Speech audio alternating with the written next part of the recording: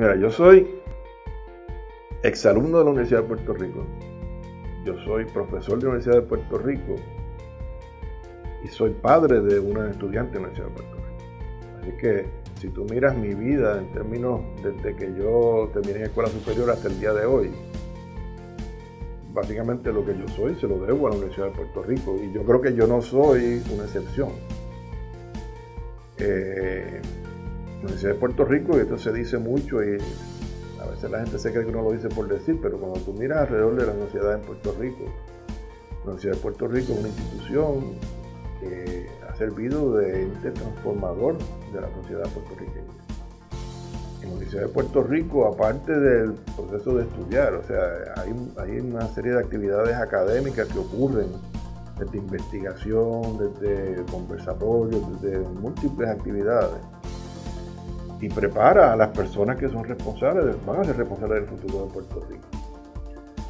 Y yo creo que esa institución hay que protegerla, hay que fortalecerla y hay que salvaguardarla para el futuro.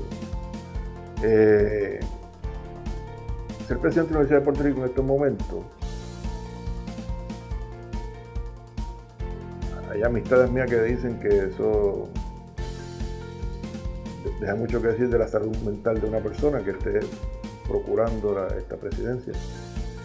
Pero como yo lo veo es, mi información es en finanzas. Yo creo que ahora hay unos problemas financieros que yo me encantaría poder contribuir a resolver, por un lado.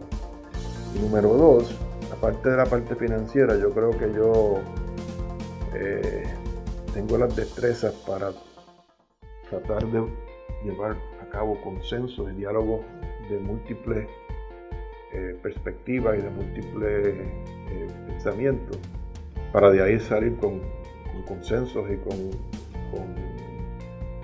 eh, decisiones consensuadas. Y yo creo que yo, si pudiera lograr esas dos cosas, contribuir a mejorar el clima de diálogo en la universidad y, contribuir a a la, solución de los problemas fiscales en la Universidad de Puerto Rico, pues me sentiría que, he contribuido a una institución que, ha dado mucho por mí.